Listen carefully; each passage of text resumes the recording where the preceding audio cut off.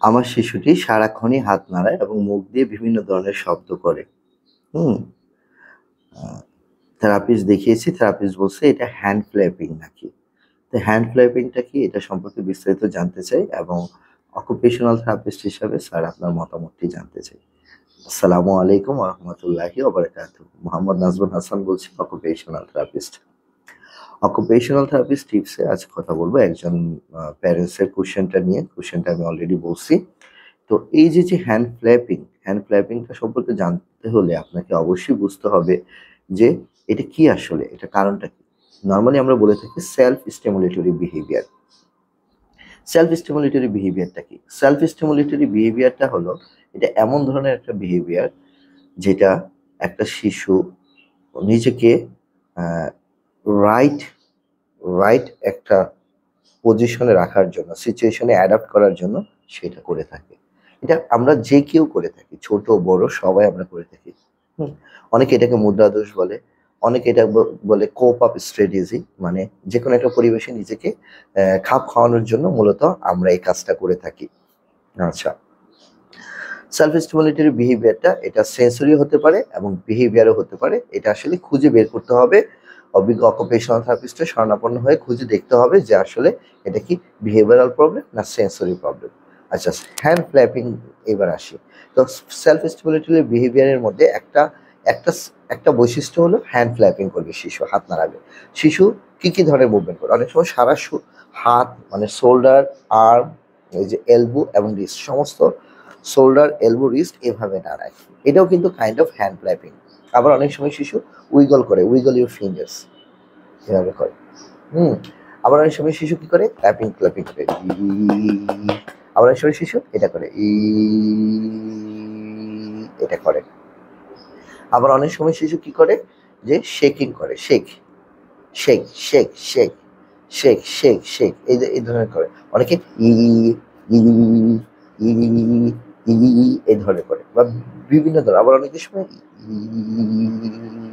তো নর্মালি এরকম ছয় সাত ধরনের বৈশিষ্ট্য আছে হ্যান্ড ফ্ল্যাপিং এ তাহলে সেটা আপনাকে একটু খুঁজে বের করতে হবে এবং অবশ্যই সেটা মনিটর করতে হবে এবং যখনই আপনি অকুপেশনাল থেরাপিস্টের শরণাপন্ন হবেন তাকে অবশ্যই যদি সম্ভব হয় ভিডিও ক্লিপ নিয়ে যাবেন ভিডিও ক্লিপটা দেখাবেন তখন অকুপেশনাল থেরাপি বুঝতে পারবে আসলে তার সিমটমটা কি আচ্ছা হ্যাঁ এটা একটা রিপিটেটিভ একটা বিহেভিয়ার রিপিটেটিভ বিহেভিয়ার এটা কিন্তু বারে বারে সে করবে হ্যাঁ এটা রিপিটেশন হবে। আচ্ছা হ্যান্ড ফ্ল্যাপিং সাথে অটিজমের কিন্তু কোনো সম্পর্ক নাই। অবাক হলেন? জি, অনেকেই মনে করেন যে হ্যান্ড ফ্ল্যাপিং মানে আমার বাচ্চাটা অটিস্টিক জি না।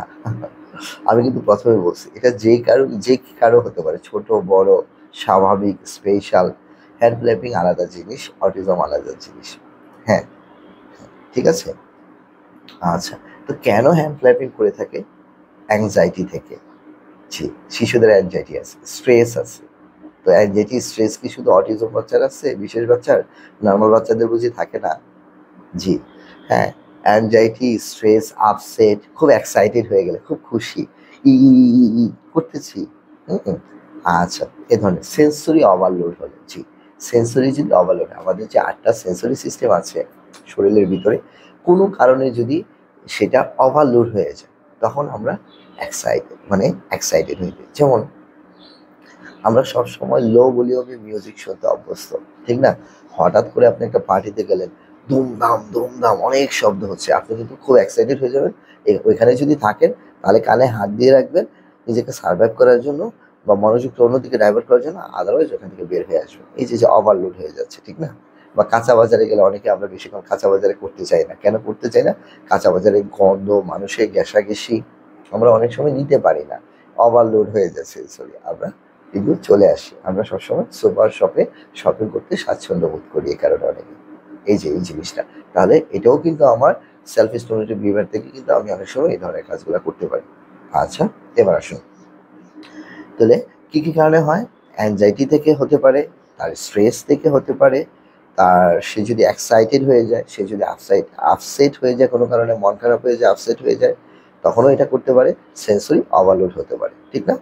আচ্ছা তো এটি তো সায়েন্টিস্টরা সায়েন্টিস্টরা এটা নিয়ে গবেষণা করে দেখছে যে হ্যান্ড ফ্ল্যাপিংটা হলো একটা সেলফ স্টিমুলেটরি একটা বিহেভিয়ার যেটা স্টিমিং বিহেভিয়ারের একটা রূপ, হুম? স্টিমিং হ্যাঁ স্টিমিং করে স্টিমিং করে, বাচ্চারা স্টিমিং করে, এটা খুব স্বাভাবিক, হুম?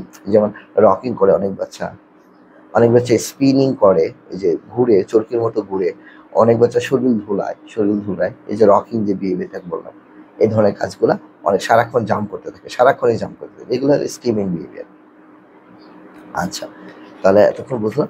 এখন আসেন অকুপেশনাল থেরাপিস্ট হিসাবে আমার কিছু স্ট্রেটেজি আমরা হাতে নিব কীভাবে আমার শিশুর এই যে যে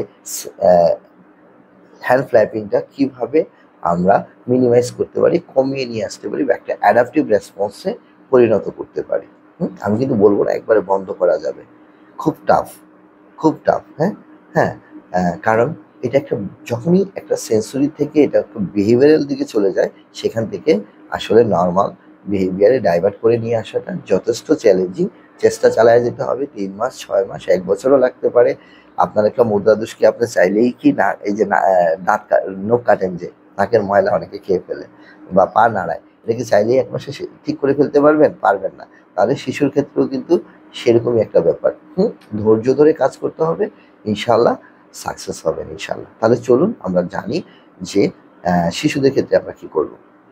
প্রথমেই জানতে হবে প্রত্যেকটা অটিজম শিশু unique. Every child is unique. আসলে অটিজম বলতে কিছু নাই। Every child is unique. সবাই ইউনিক, তাদের বৈশিষ্ট্যগুলো ইউনিক তাদের ক্ষেত্রে কাজগুলো ইউনিক হতে হবে। তবে প্রাইমারিলি আমি দশটা কাজ মানে দশটা টিপস আপনাদের জন্য নিয়ে আসছি। আপনারা একটু মনোযোগ দিয়ে শুনবেন এবং নোট করে রাখবেন এবং বাসায় আপনার শিশুর সাথে সেটা প্র্যাকটিস করবেন, ইনশাআল্লাহ। প্রথমে যেটা করবেন, ছোট বল। নরম যে সফট বলগুলো আছে না ফিজিটিং টয়েস সফট বল দেখবেন আছে ফোম দিয়ে বানানো বা ভিতরে পানি থাকে, চাপ দিলে পানিটা বের হয়ে যায়, আবার ইয়া করে। এই যে, এই ধরনের এগুলো বলগুলা দিবেন স্কুইজ করতে দিবেন তাকে স্কুইজ করতে। স্কুইজ এটা কিন্তু খুব ভালো স্ট্রেস রিলিফের জন্য কাজ করে। ইভেন আমরাও কিন্তু অনেক সময় থেরাপি সেন্টারগুলোতে কিন্তু আমরা ইউজ করি স্ট্রেস রিলিফের জন্য। হুম। আমাদেরও স্ট্রেস আছে। হ্যাঁ এই যে শিশুটার সাথে কাজ করতেছি, কেন ইমপ্রুভমেন্ট হচ্ছে না? দুর্বলতাটা কোথায়? প্রবলেমটা কোথায়? এটা খুঁজে বের করতে হয়। হ্যাঁ এটা তো কোনো শর্টকাট কোনো ওয়ে নাই খুঁজে বের করা ঠিক না? এই জন্য কিন্তু অনেক সময় আমরা টেনশনে পড়ে যাই যে কি ধরনের ইফেক্টিভ কোন থেরাপিটা দিলে শিশুটার এই বিহেভিয়ারটা চলে যাবে? কারণ এভরি চাইল্ড ইজ ইউনিক হ্যাঁ? সেম প্যারাসিটামল দিয়ে সব জ্বর ভালো করা যায় না, ঠিক না? আচ্ছা তো স্কুইজ বল দুই নম্বরে যেটা হলো থেরাপাটি থেরাপাটি বা প্লেডো বা ক্লে এগুলা স্কুইজ করতে এগুলা খেলতে দাও। থেরাপাটিটা কি? থেরাপাটি আইডিয়াটা মনে হয় আপনাদের কাছে নতুন হতে পারে, কিন্তু এটা খুব কমন খুব পরিচিত। প্লেডোর মধ্যে খুব পপুলার এবং ফেভারিট একটা গেম বাচ্চাদের জন্য। থেরাপাটিটা হলো প্লেডোর মধ্যেই কিন্তু অনেকটা আঠালো টাইপের এবং এটা রেখে দিলে আগের ফর্মেটে চলে আসে। হুম? এটা এখন বাংলাদেশের মার্কেটে অ্যাভেলেবল পাওয়া যায়। চাইলে আপনি থেরাপিটিটা দিতে পারেন অথবা প্লেডো হোমমেড প্লেডো আমি সবসময় প্রেফার করি মার্কেট থেকে প্লেডো না কিনে বাসায় আপনি তৈরি করে নেন। কী করবেন? একটু আটা নেবেন, একটু ফুড কালার নিলেন, লাল, নীল, হলুদ, সবুজ ফুড কালার যে কেক বানানোর জন্য যে কালারগুলো ইউজ করেন চাইলে একটু স্মেল নিতে পারেন, বিভিন্ন ধরনের ফ্র্যাগরেন্স বাচ্চা যেটা পছন্দ করে ভ্যানিলা ফ্লেভার চকলেট ফ্লেভার এই ফ্লেভার বিভিন্ন ধরনের ফ্লেভার নিতে পারেন লেমন ফ্লেভার আছে হ্যাঁ? তারপর একটু একটু লবণ দিবেন, একটু তেল দিবেন। একটু তেল দিয়ে আপনি এটা স্মেস করে প্লেটোটা বানিয়ে রেখে দিলেন। লাল, নীল, হলুদ, সবুজ বাচ্চাকে একটা বক্সের মধ্যে রেখে দিলেন ফ্রিজে সংরক্ষণ করলে দেখবেন যে এক মাস ইউজ করতে পারবেন একটা, কোনো সমস্যা হবে না। যদি না সে নষ্ট করে ফেলে। আর যদি সে কোনো কারণে খেয়েও ফেলে, তাও কোনো ক্ষতি হবে না। কারণ এটা তো সম্পূর্ণ কেকের যে জিনিসগুলো দিয়ে বানানো হয়েছে সেম জিনিসটাই। ঠিক না? এটি আর কি একটা ভালো একটা জিনিস। আচ্ছা প্লেডোটা দিবেন, প্রচুর খেলতে দিবেন। এতেও কিন্তু বাচ্চার প্রচুর স্ট্রেস এবং অ্যাংজাইটিগুলো রিলিফ হতে সাহায্য করে। সেন্সোরিয়াল প্লে এটাকে বলা হয়। তিন নম্বরে যেটা করতে পারেন প্রেসিং হ্যান্ড যেসব বাচ্চাদের আন্ডারস্ট্যান্ডিং ভালো, তাদেরকে দেয়ালের সাথে হাত নিয়ে পুশ আপ করতে পারবেন পুশ আপ করো পুশ আপ করো, ধাক্কা দাও। বা আপনি ওর হাতে হাত রেখে এভাবে এভাবে একজন আরেকজনকে এইভাবে ধাক্কা দেবেন প্রেসিং হ্যান্ড প্রেসিং হ্যান্ড এটাও কিন্তু আপনার স্ট্রেস রিলিফ করতে সাহায্য করে হ্যাঁ? দেয়ালে ধাক্কা দেওয়া, এটাও কিন্তু আপনি করতে পারেন। আচ্ছা তারপরে যেটা করতে পারেন, ওকে বেয়ার হাক দিতে পারেন। জড়ায় ধরে জুড়ে চাপ দিতে পারেন। জড়ায় ধরে কিছুক্ষণ চাপ দিয়ে ধরে রাখলেন, এক মিনিট, দুই মিনিট হ্যাঁ? মানে ফার্ম প্রেশার আর কি মানে জুড়ে বলতে সরি মানে বেশি জুড়ে না, আবার দেখবেন যে বাচ্চা ব্যথা যেন না পেয়ে যায়। ব্যথা পেয়ে পরে আবার হিতে বিপরীত হয়ে যাবে। হুম? ফার্ম প্রেশার মায়ের কোলে যেমন বাচ্চা থাকেন ফার্ম প্রেশার হ্যাঁ খুব আস্তে অন, খুব জুড়ে অনা। হ্যাঁ এভাবে ফার্ম প্রেশার দিয়ে কিছুক্ষণ রেখে দিবেন, দেখবেন বাচ্চা শান্ত হয়ে যাবে ইনশাল্লাহ সেন্সরি ওভারলোডটা আস্তে আস্তে কমে যাবে। ছয় নম্বরে যেটা হলো ভেস্টিবুলার সেন্সরি সিস্টেম জি ভেস্টিবুলার সেন্সরি সিস্টেম খুবই ইম্পর্টেন্ট একটা সেন্সরি সিস্টেম আমাদের শরীরে। আমি বারে বারে কিন্তু ভেস্টিবুলার সেন্সরি সিস্টেম নিয়ে, আমার বেশিরভাগ ভিডিওতে কিন্তু আমি এই সেন্সরি সিস্টেমটা নিয়ে বেশি কথা বলি। কেন?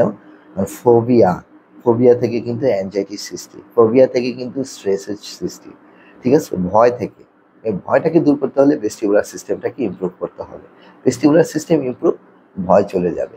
পাশাপাশি ভেস্টিবুলার সিস্টেম ইমপ্রুভ তার লিসেনিং ক্ষমতা বাড়বে। ভেস্টিবুলার সিস্টেম ইমপ্রুভ হওয়া মানে তার স্পিচ আসার সম্ভাবনা অনেক বেড়ে যাবে, অনেক বেড়ে যাবে ইনশা আল্লাহ হুম? তাহলে ভেস্টিবুলার সিস্টেমটাকে নিয়ে অবশ্যই আপনাকে কাজ করতে হবে। সেই জন্য আপনি বাসায় কী করবেন? অবশ্যই বাসায় একটা দোলনা সেট করবেন। যে কোনো একটা দোলনা। প্লাস্টিকের দোলনা অ্যাভেলেবল পাওয়া যায় এখন মার্কেটে চাইলে কাঠের টুকরা দিয়ে দোলনা বানিয়ে নিতে পারেন। বিভিন্ন থেরাপি সেন্টারগুলোতে নিয়ে যাচ্ছেন। ওইখানে দোলনা দেখতেছেন। ওইখান থেকে একটা ছবি তুলে নিয়ে আসেন। ইন্টারনেট থেকে একটা ছবি নামায় একটা দোলনা কোনো একটা কাঠমিস্ত্রিকে দিয়ে বানায় নেন। দোলনা মাস্ট লাগবে হ্যাঁ? দোলনা মাস্ট লাগবে। রকিং চেয়ার রাখতে পারেন বাসায় রকিং চেয়ার হ্যাঁ? জিম বল রাখতে পারেন জিম বলের মধ্যে বাউন্স করা, দাঁড়ায় আদা বাউন্স করা, শুয়ে বাউন্স করা, বসে বাউন্স করা, এই ধরনের কাজগুলো আপনারা বাসায় করতে পারেন। হ্যাঁ কতক্ষণ করবেন? এরকম আছে যে অনেক বাচ্চা আছে, দোলনায় ঘণ্টার পর ঘণ্টা থাকে। কোনো সমস্যা নাই কোনো সমস্যা নেই। এটাও অ্যাক্টিভিটি তো। প্রথম দিকে দেন, দেখবেন যে একটা সময় পরে সে আর এত ইয়া করবে না, কারণ তার নিড এটা, ঠিক আছে? রোজার দিনে যখন সারাদিন পরে যখন আপনাকে আমি যখন আধা গ্লাস পানি দিব, নিশ্চয়ই আপনি রেগে যাবেন যে সারাদিন রোজা রাখছে, আমাকে আধা গ্লাস পানি দিছে। হুম? আপনাকে মিনিমাম এক জগ শরবত বানিয়ে দিতে হবে, ঠিক না? অনেকে আবার দুই জগ শরবত নিয়ে বসেন, ঠিক না? এটি আর কি। কারণ তার প্রয়োজনটা বেশি, তাকে নিতে দিতে হবে, হুম? হুম, অবশ্যই আপনি একজন প্রফেশনাল অকুপেশনাল থেরাপিস্টের শরণাপন্ন হয়ে আপনি এই প্ল্যানটা করে নেবেন। যেটাকে বলি সেন্সরি ডায়েট হ্যাঁ সেন্সরি ডায়েটের উপর আমার একটা ভিডিও আছে, চাইলে আপনারা দেখে নিতে পারেন। আচ্ছা তারপরে আসেন প্রোপিওসেপশন হ্যাঁ প্রোপিওসেপশনটাও যে সেন্সরি ওভারলোডের কথা বলছি প্রোপিওসেপশন মোটর রেসপন্সটা মোটর রেসপন্স না? মোটর রেসপন্স তো। হ্যাঁ যে মোটর রেসপন্সটা সে করতেছে না, এই যে যেটা এই যে মোটর রেসপন্স করতেছে না, তো এটা এটা কেন করতেছে? তার মানে তার অবশ্যই প্রোপিওসিটিভ স্টিমুলেশন সেখানে দরকার। হ্যাঁ তাহলে এখানে কি করতে পারেন? এখানে আপনি করতে পারেন জয়েন্ট কম্প্রেশন দিতে পারেন ছোট বাচ্চা হলে হ্যাঁ বড় বাচ্চা হলে তার সাথে আপনি হামাগুড়ি খেলাটা খেলতে পারেন ক্রলিং যেটাকে বলি ক্রাউলিং অথবা হুইল বেড়ে ওয়াকটা দিতে পারেন এই যে ওয়াল পুশ পুল এটাও কিন্তু ভালো একটা প্রোগ্রেসিভ অ্যাক্টিভিটি এবং ওই যে যে ডিপ্রেশনটা বললাম বেয়ার হাগ বেয়ার হাগ মানে বেয়ার যেভাবে হাগ করে সেইভাবে আর কি। সেটা কিন্তু প্রোগ্রেসেশন একটা স্টিমুলেশন এটা কিন্তু বাচ্চার অস্থিরতা কমাতে, বাচ্চাকে কাম ডাউন করতে খুবই গুরুত্বপূর্ণ ভূমিকা পালন করে। ওরাল মোটর স্কিল কেন?